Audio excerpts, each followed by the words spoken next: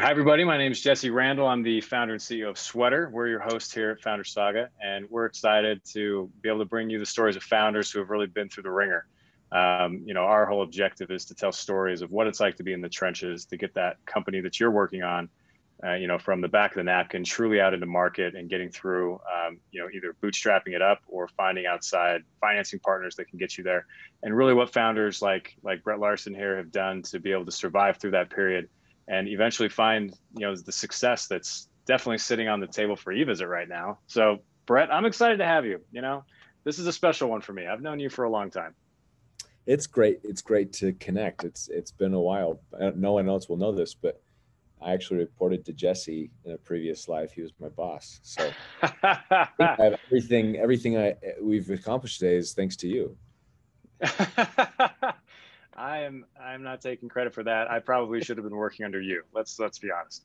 Uh, yeah, so uh, it, it is fun. Like I mean, a little bit of history for those who are listening. Um, Bret and I go way back. I mean, probably it's like eight years ago, right? That uh, that we first started working together.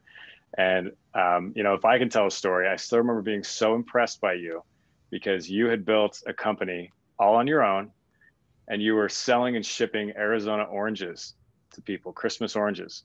And I still remember that I was like, "That's amazing that he figured out how to make that whole thing work." So, anyways, I just remember being so impressed because you had actually built something.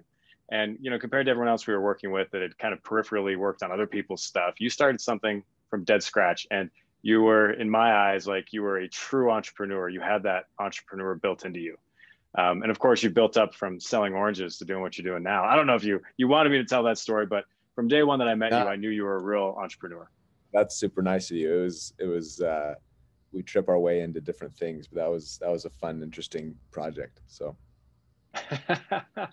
well let's um, let's let's dive into this okay so this is what i, I typically like to do um, you know most people probably aren't going to be familiar with eVisit. So let's start with you, kind of giving us the quick pitch. I mean, let's have you tell everybody, you know, eVisit's purpose. We don't need to get into the origin stories yet, but just like, what are you now? If you're talking to an investor, what is eVisit?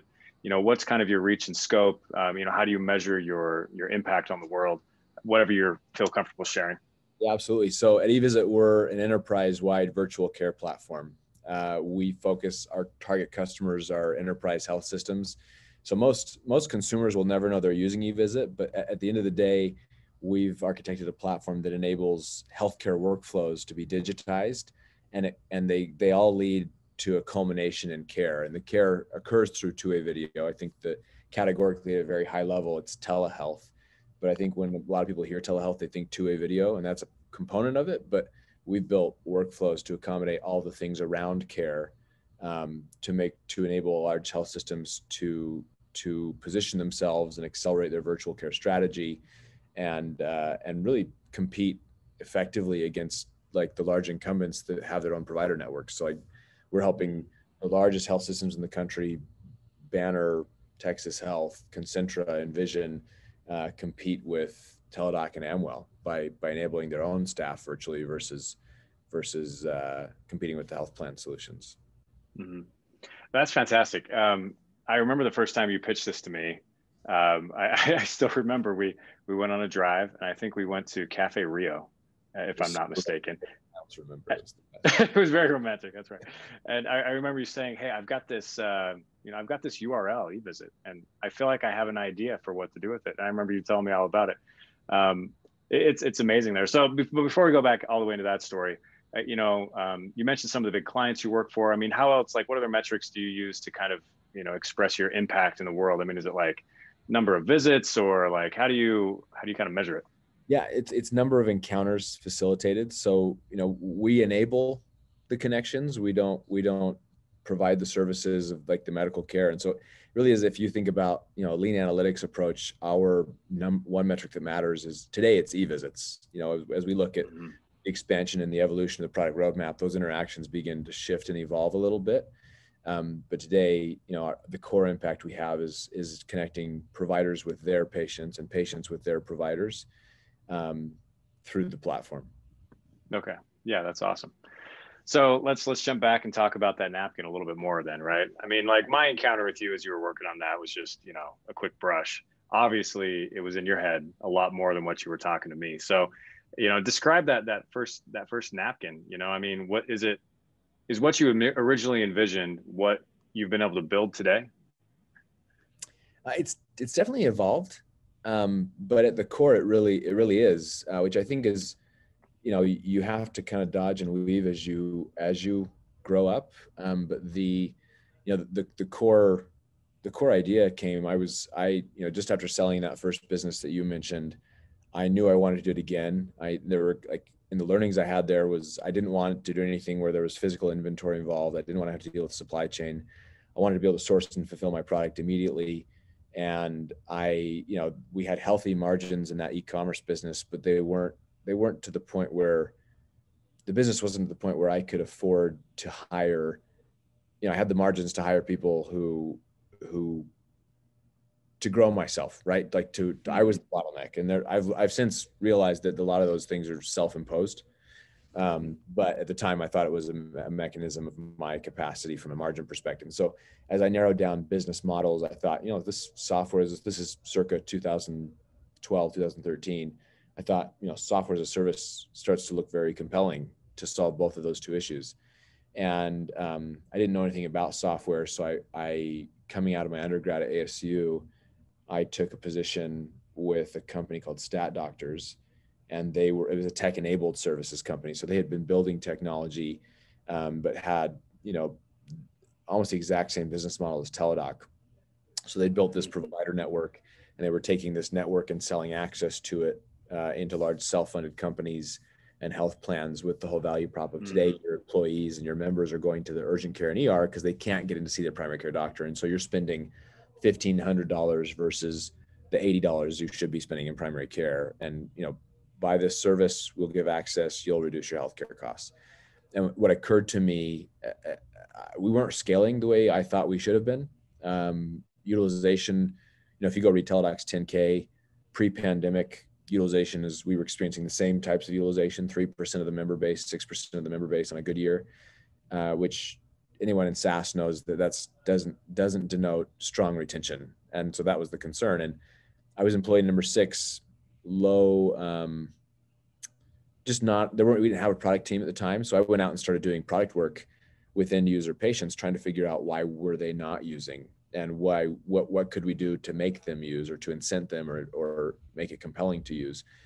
And at the same time, I hate bringing up names like this during during talking about your company because it sounds very buzzy, but Uber had started to gain traction from a black, word of mouth in the black car service, right? Like they, mm. and there was already a lot of noise from the taxi cab industry about what, what that was going to do to their industry. And they were trying to block mm. them, you know, from a government perspective and municipalities.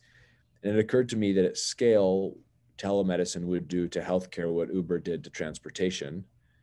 Mm. And that the way that we were approaching it was actually was I won't say wrong, but that I, I believe that by disconnecting doctors from their patients, outcomes would de- degrade. That it was actually yeah. dangerous what we were doing, not intentionally. We were trying to do the right thing, and I think they still are. Um, but it occurred to me, what if what if the taxi cab industry had had technology to combat Uber knocking at the door? What would it look like today? Um, and so that, that's what I went back and I, I I I just I chewed on that for a really long time and um, ultimately decided, you know, that I was going to do it. You know, I didn't see it as competitive to the business we were running because I was going to be selling to healthcare organizations and they were selling to health plans. And so I left. That's I, I took a position at Tallwave, um, and in the in the background, you know, an individual I'd met at Stat Doctors had the domain name, um, and I thought, well, that's perfect. Like, so I I, mm. I recruited him to join in the cause, um, and then you know just kind of along the way found a cto just because I, I, have a marketing background. I don't have a technical background. And um, who became my co-founder. And he's he's a rock star in healthcare and entertainment and a few other areas that just had the perfect background. Um, but yeah we we so we, we did start out with the concept of let's build a platform that enables these these practices and health systems to e-commerceify themselves right? Like it, it do for them what shopify did to the broader e-commerce market, um, but add video to it and really digitize the experience and, and make it more more yeah seamless. Yeah. So I mean, like at, at the end of the day, I mean, you really just reverse the roles, right? And you said instead of you know one person calling into a random network of doctors, you're just giving your doctor the ability to talk to you without you having to go to the office, right? Yeah. I mean, kind of dumbing it down. Um, I mean, I, I still remember when you said that. I remember thinking that's brilliant, you know, and um, so like the ability for you to have um, launched when you did. I mean, obviously this last year, I assume has been awesome for the business um, you know, and and really been a pivotal moment. You can't buy timing, right? But you were prepared for it. Like, you, yeah, we could talk more about that. Um, but uh, I mean, you're obviously in a great place now and growing at a great trajectory. So, uh, looking back, though, you know, um, let, us examine more of that early story. So, you had a vision, right? And it sounds like you were able to kind of keep the core of that vision the same, right? Into growing into what you became today, right? In terms of the overall concept. No, no major pivots, no major changes from the overall North Star. So let's talk and, and examine about like between when you really started this thing um, and when you got true outside funding. About how long was that period of time? Like, um, you know, like a major institutional round. Yeah. So, I mean, we, we raised and just give you a, a, a timeline of what, of, of how we, we progressed, you know, the first we raised the first fifty thousand dollars on a note uh, that we ended up mm-hmm. converting into equity. I think because later on we we realized that it was the risk that they took was was was big, um, mm-hmm. and and that the deal that that subsequent note holders were getting was better. And so we were like, hey, you took a lot more risk.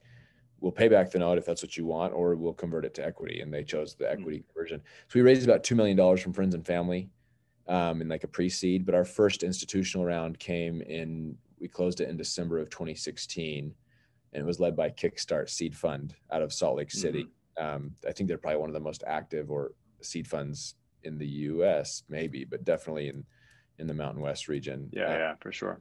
Just amazing partners, but we we took about we took a two million dollar seed round in 2016. Okay, gotcha. So what you started officially on this in 2014? Was, is that about right? So yeah, I, I, left. I left Campus Logic, which is where I went after I I, I left. Oh, I forgot that you you were there. Yeah, I left Campus Logic in November of the end of November of 2014. My wife was nine months pregnant with our second child, and I figured if I could convince her to give up, you know, a great salary and benefits, this would all be very easy. Um, it's not been, but uh, but about yeah, November of 2014 is when I left to focus on it full time. Okay, yeah. Step one: get your wife in line. no, I almost said in line. That sounds totally wrong. On board. yeah, yeah. Um, okay, so I mean, let, let's examine that period of time then. Those couple of years. So you, you had a partner on board that was a doctor, right? Which is unique in, in a technology startup, right? Um, and he had the original domain, which kind of set off this whole pattern of thinking. So, what was it like in the first, you know, year? Like, I mean, you got to build a product. Um, you know, you've got to figure out and understand what your customers really want. You got to figure out a lot of different elements. So, like, what was your starting point? What were you? What were you like? What was the checklist like? What were you trying to get through? Yeah, I mean, so originally, so I, I developed this concept as I as I worked through the product stuff. Um, you know, and I trying to think through the name. It became after I realized that the, this this original one of my one of my partners had the name. I was like, oh, that's a perfect fit for what I want to do. Um, we you know i i'm a marketer so i i focused you know some of the practices that we had developed at tallwave like i i i actually started i started with the end user. So i started talking to my end customers was physicians. Um, and i called doctors that i had seen historically and i just i started walking through the concept and trying to get their thoughts on what what would be compelling what would the product need you know and and frankly I mean, one of the if i could go back and do it all over again um, we over architected our MVP. I think a lot of groups do, but like we overthought it. I added more features than there needed to be.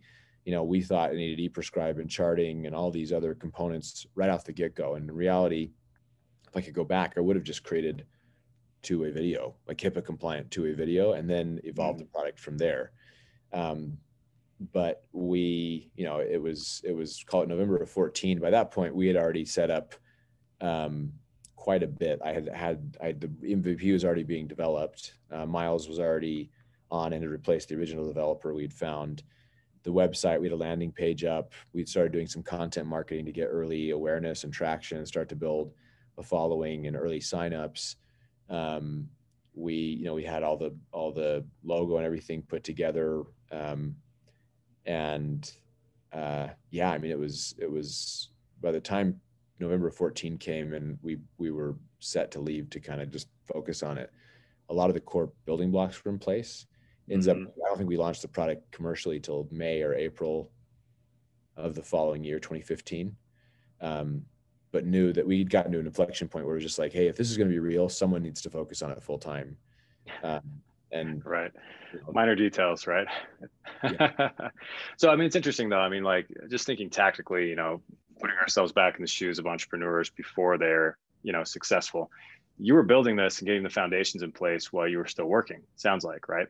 Yeah, nights and weekends. I, I learned an important yeah. lesson early on at Stat Doctors that for me, um, if I'm trying to do two things at once, I become really dissatisfied. And so I, like, I, I was very deliberate, you know, like my, I, I was employed and those employers were paying me for certain outcomes. And so, you know, my, my personal commitment was like, I wanted eVisit to be a thing, but I, but I, I made a commitment to these employers to give them what I told them I'd mm-hmm. give them. So I, I was, I tried to be very, very deliberate and when and where I worked on it, uh, which ended up being mm-hmm. nights and weekends. Yeah, yeah. Uh, which could be harder, you know, to do than than I think many people give it credit for. Uh, especially when you know you do have that. I mean, call it you know the ethical line that you really want to make sure you're delivering on whoever you're working with.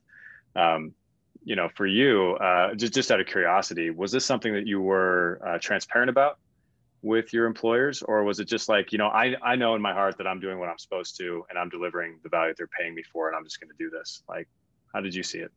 Uh, I there was enough risk still involved that I I didn't like go into a job interview being like, hey, I'm working on this side thing, so I'm going to be here until that takes off, and then I'm out.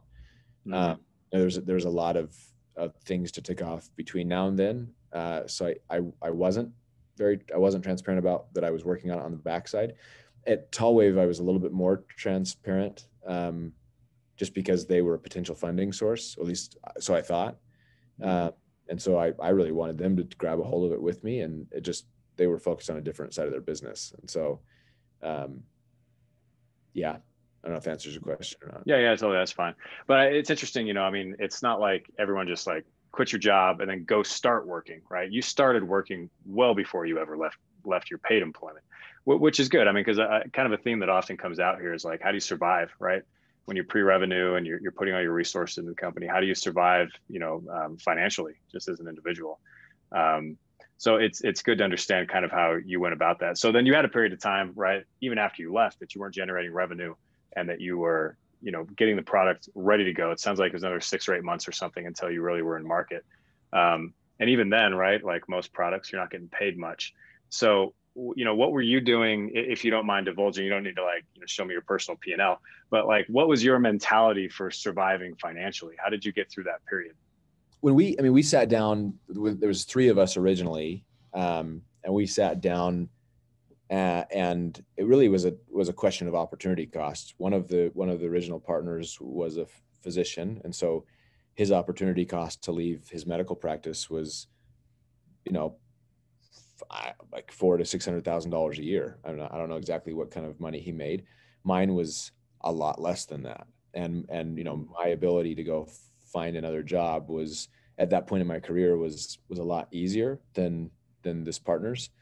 Um, you know, he'd been with this practice for a long, long time, and so uh, you know, there's got to be an exchange of value. Um, and so we ultimately decided, he, you know, he was like, "Look, I'll I'll cover your salary for the first six months. Let's go raise money from friends and family. We'll do that." And at six months, we both decided we'd stop and take a look at where things were at, and whether or not you know, at that point, could the company or the money we'd raised support my salary? And um, if not, that I'd need to go look for for for job.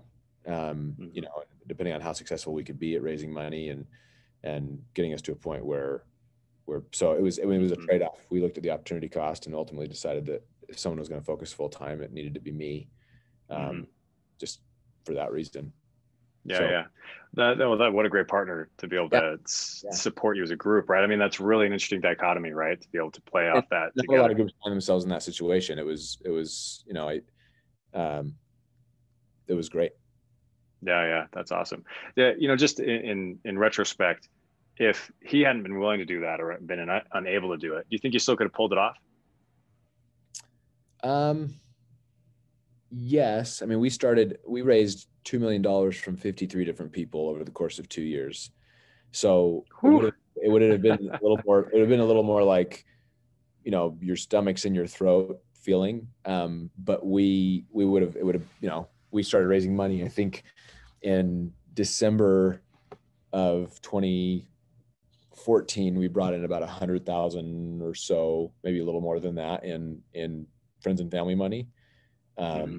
You know, my my salary at the time was as little as I as I could take and still sure. support my family, um, and so we could have made ends meet, but it definitely made it easier. Yeah, no, that's interesting. Uh, so let's shift gears for a second and talk about the product. I know a little bit about the the journey you took to get that initial product built, um, but why don't you tell us kind of from ground zero? You knew you were going to do this. How did you go about doing it and funding it? Yeah, so um, again, a lot of a lot of the process was informed by just kind of a, a lean, lean approach, right? Like, um, the, so as I thought about it, it was first it was validating. Uh, I knew that I, I felt like it was really important that the user interface of the product was was very very consumer feeling, and that was supplemented by a lot of the thought leadership that Miles has brought um, after he joined in late 2014. But so I, I started out like pen and paper wireframing the the experience on graph paper, like screen by screen, diagramming an entire workflow, um, you know, and just literally drawing it out. And I actually I connected with there's a there's a founder in town in Phoenix uh, who founded a company called WebPT, um, a guy named Brad Jannenga. Uh, him and his wife co-founded this company, and yeah, his, Brad and Heidi are awesome. They are. They're they're such great supporters of, of the community here. Um, but the his recommendation it was it was on his recommendation. He's like, look, when you build a house, you don't go build it and then decide to move lights and walls and he's like, you do a blueprint and you get the blueprint exactly right and then you build. And so based on his advice, out, I went through and just wireframed the whole thing. And then I went um, after I was pretty confident, I put wireframes in front of our end users and had them like literally pushing paper to move to the next screen and swapping things out. Uh, and then I found a designer. So I went on Dribbble uh, dot mm. com and just started looking at UI designers portfolios and trying to decide like who who had the approach and the skill set and the the aesthetic that we really liked or wanted. Uh, mm-hmm. Uh, and found a guy um, that had done work for like GoPro and a few other groups and and got him to quote out what it would take to design however umpteen mini screens we had.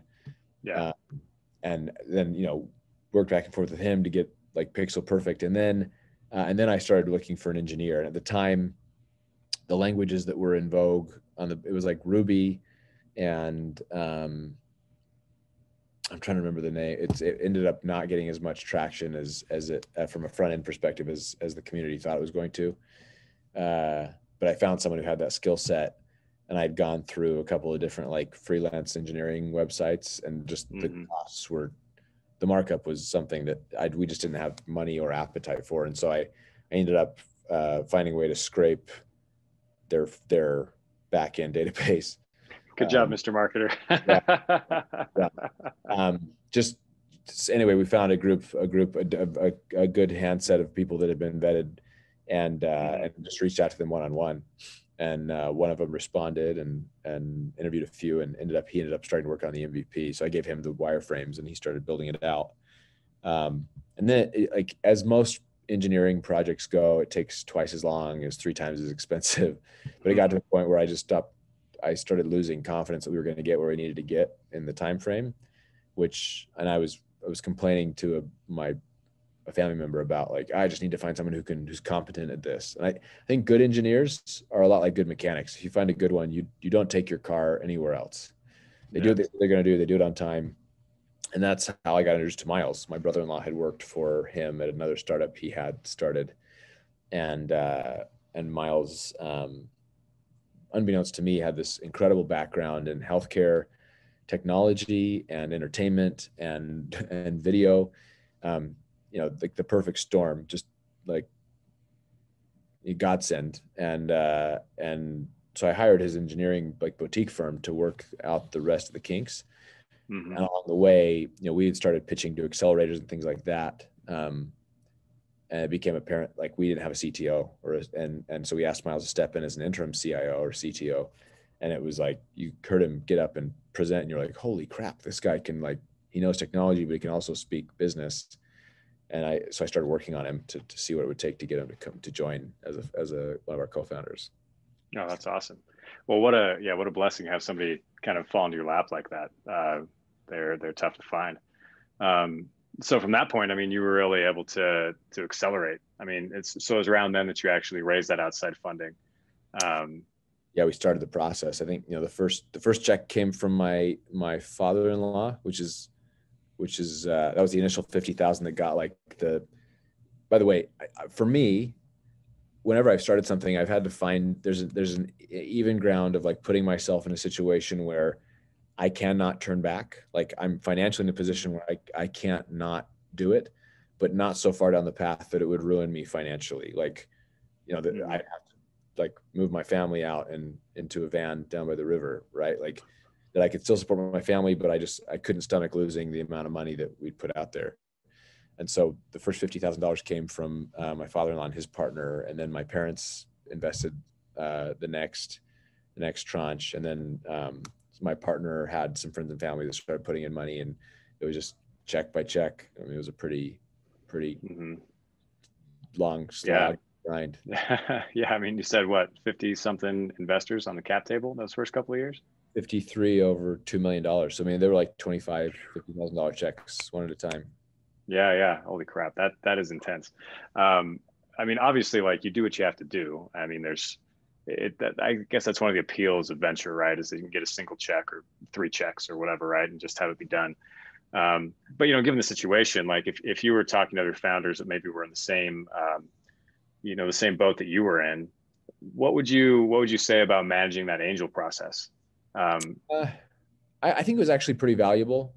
If I look back, I I think it forces you to be to not be too haphazard about where you're investing those dollars, right? Like when you know that it's 25 here, 25 there, you know, you've, mm-hmm. you, it, for me anyway, it forced us to be a lot more careful.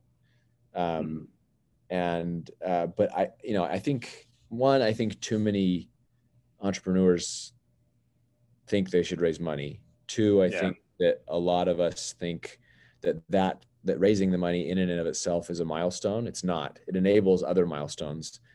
Three, I think true success is not having to raise money. And there are there are certain situations where you should, where the market's incredibly competitive, where it's a race to the top, where you have figured out your go to market and there's a there's a recurring machine there where you know that a dollar in equals three out in such and such time frame.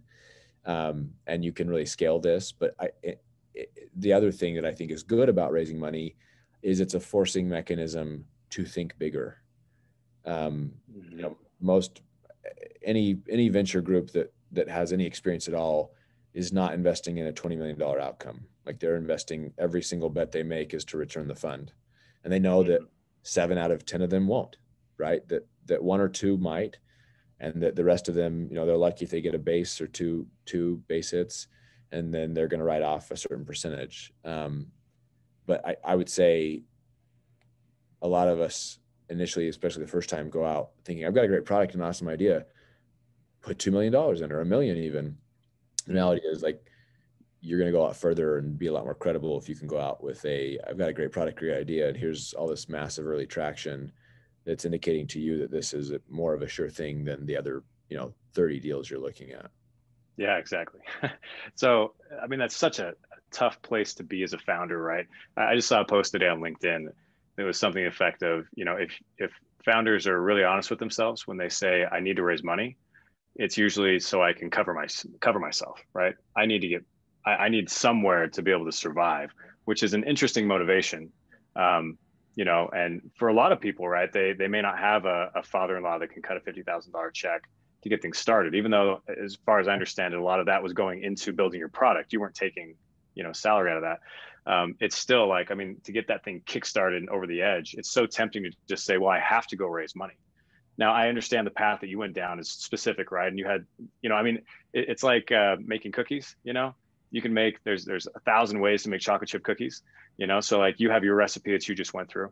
but if you were you know talking to founders that maybe didn't have um, family or a, a you know a co-founder that was able to give you some of the financial support that you had what would be your suggestion for saying you shouldn't raise money right you need to make it through these stages what would you tell them to do I, I think there needs a lot of us try to like back into what's reasonable. You know like I, I i look you look at the evolution of a lot of companies and you don't you you start with the end in mind but having a very like deliberate stepwise direction to get there um, i think one of the most you know being self-aware and knowing where your skill set lies and where you need to supplement that like there are ways i'm i'm advising uh, another startup right now and they're you know the the founder is a sales one of them was a salesperson the other one's a finance guy and they realized like we we either got to be able to afford to pay someone to build this or find someone who can join to build this. And so they recruited a cto or a, a co-founder with a technical background who could actually do that. And they're all they're all sweating in. Um, you know our jobs as founders like at every point in the journey like there are building anything is hard like creating anything from nothing is difficult it all starts with a concept and there are going to be a ton of uh, boulders and brick walls and you know solid steel walls and like your job as a founder is to figure out how to get through it either like mm-hmm. directly through it or over it or under it or around it and you know it's never linear i mean like you hear one of the my there's no way to not fix this, but you hear founders tell stories about the growth journey. And and I, I think most of them are pretty transparent about the really tough stuff. And and what you hear as a participant is you're like, oh, that's amazing. That's an incredible story. Like, and you just think they knew it was going to work out, and you never do. Right. There have been multiple near death experiences at eVisit where like I literally wasn't sure if I needed to start like if I was going to have to look for a job in the next six months. Um, you know, we're past that now, but there were times where, and, and people will hear me tell that story and be like, yeah, but you just knew, like, look at where you are now. You knew it was going to work out. And you're like, no, you don't. You don't. And so it's, I mean, it takes an incredible amount of, uh, it's, it's probably ignorance more than anything else, where you're just like this undying belief that you can figure it out, that you can get there, that there's you know it's it's through the next wall that you hit that upward trajectory and it's mm-hmm. also you know it's just it's not linear and and yeah you know it's lonely and it's scary and it's hard but yeah well i mean and, and so much of that i mean it's not even i mean people focus on the financial hardship you know of trying to get through it. But i mean most of what you're describing is really in your head in your heart right? Yeah. so like i mean what do, so what do you do to manage that? I mean because that's rough. I mean looking ahead and, and not knowing if if you're going to have to you know kind of bury your child and go and start over so to speak right and go back to working for the man. I mean th- those are tough things to confront and you can't help but have them going through your mind. It, it's terrifying. I, I, mean, I remember the early days at eVisit you know greg scoresby who's the, the founder of CampusLogic. I think you maybe had him had him on. Yeah yeah. Yeah greg's he gave, awesome. us, he gave us and i worked for greg but he gave us free office space for a year. And it was our our it was in a it was in their loft. It was up this set of staircases, 653 square feet, and I I remember you know there were every morning stopping at the bottom of those staircases, and we had three, maybe four, or five at the, at, the, at before we moved out. It was like 12 people up there in 600 square feet. Um, we like to the point of sitting on each other's laps, which we never did. It's a massive HR issue. Uh, but like stopping at the bottom of the stairs, you know, and and like having to take a deep breath and be like, okay, like everyone's looking at me to understand whether or not I believe this is going to work out. And today I don't know. Right. Like, and so I'd stop at the bottom of the stairs, keys in my hand, and, and like, okay, it's going to work out. And I'd go upstairs and, and put on, you know, a brave face. And like, we, we were figuring it out. We had little milestones we were reaching for. Um, but like my personal coping, you know, I, I, you've got to find space to put first things first and that's really hard to do like i i when we take when we've taken dollars from individuals or institutions i i take it super personally. Like that you're while they need to understand the risk i've also committed to do everything i can to make sure there's a return. Mm-hmm. and um, that can feel super lonely because there's there's that you just feel super lonely. Uh, and so but i i've also learned that uh, there's certain things that you that don't recover. Like if you if you disregard them And so for me, it was always putting my family first, like the relationship I have with my wife, the relationship I, I have or want with my children. Um, for me, it was success at the end of something like this. It never would have been successful if at the end of it, I didn't have my children didn't know who I was and I didn't know who they were at a very personal level. And so, you know, I made it a goal that unless I was out of town, that I, I was able to be home for dinner and, and playtime and, you know, bath and bed and story time. Like those were important mechanisms for me, which helped keep me grounded and recognizing like there's this is important. What we're doing at eVisit is incredibly important, but but what I'm what am I doing it for? And it was, mm-hmm. you know, it's for the security of my family. Um, I I when I, we started eVisit from like November to April or May, I put on like 40 pounds, just stress eating at the end of the night, going home, sitting in front of Netflix and like just working through the night or like and just binging on ice cream uh, and like, so I started I, I, the day I stepped on the scale and realized that I was like, oh my gosh, this is unacceptable. So I hired a personal trainer, which I couldn't, you know, I could barely afford, but I recognized that like that outlet and making sure that my personal health there that's keeping that in check. There's like routines and habits that I've created that have given me space like mentally and emotionally and relationally that that um, have helped me manage through it. And I, you know, those relationships are key, making sure that they're ones of mm-hmm. trust. And I'm actually surprised that more institutional investors don't don't do diligence on a founder's uh, and their partner's relationship, like their their life partner, their whether you know their spouse or their significant other's relationship, because. Mm-hmm. If it weren't for Bree and like the support system she created and provided to me, I don't like if things aren't right at home, you can't be fully there at work. And so that's been that's mm-hmm. been a mm-hmm. huge component for me. Yeah, that's awesome. I, I, feel absolutely the same way about my wife and, and about my my kids, right? Like I was just looking at pictures, like see these pictures behind me. It's only two years ago. Like I've got a kid that's about to become a teenager. And it, it it's just it's like, oh my gosh, that was that was two years ago. And I just think two more like he's only gonna be around for like four or five more years. And he's literally not gonna live here anymore. Yeah. And I think, you know, I, I put myself in sweater context and it's like, geez, I'm looking at like a 10 year horizon here. And I'm like, half my kids will be out of the house.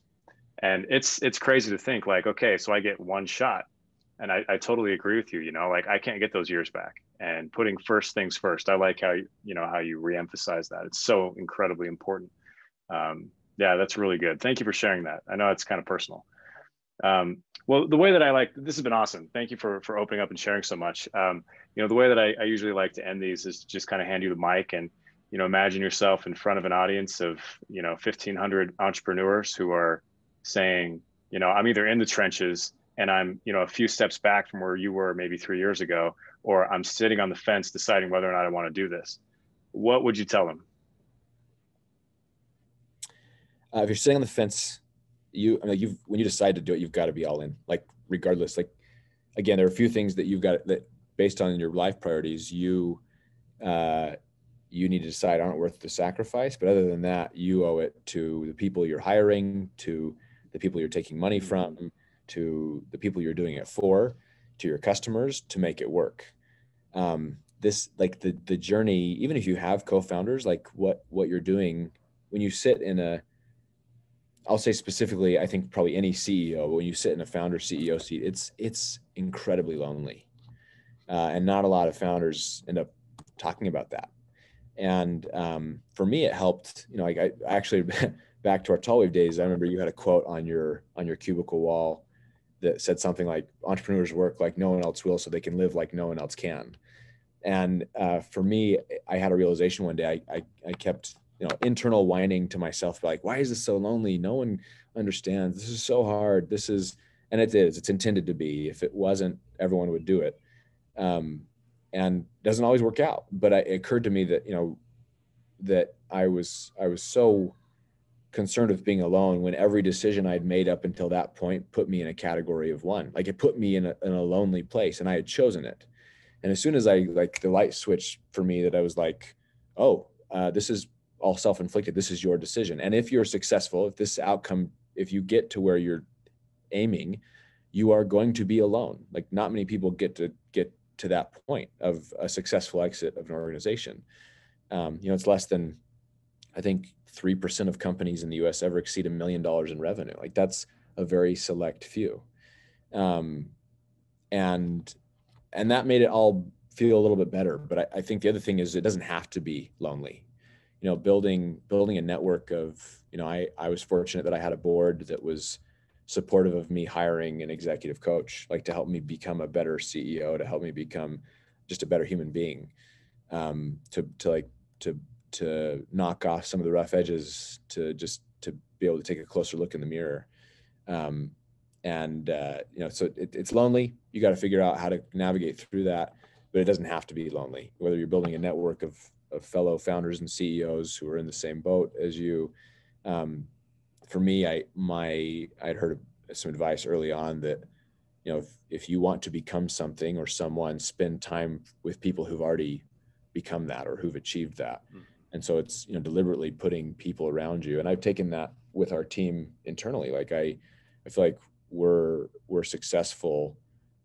Uh, we are more successful when, hire, when we hire people who are better than we are, and that's intimidating because I think as a young founder, I always felt like I needed to know more than the people around me. And when I came to the realization that I didn't and I shouldn't, and that when we would scale, when we could actually, when I actually started hiring people who were who were better equipped to handle these issues, it was really freeing, and it, it allowed me to let go and and give the vision away and let people come in and and leave their fingerprints on on what it is we're trying to accomplish.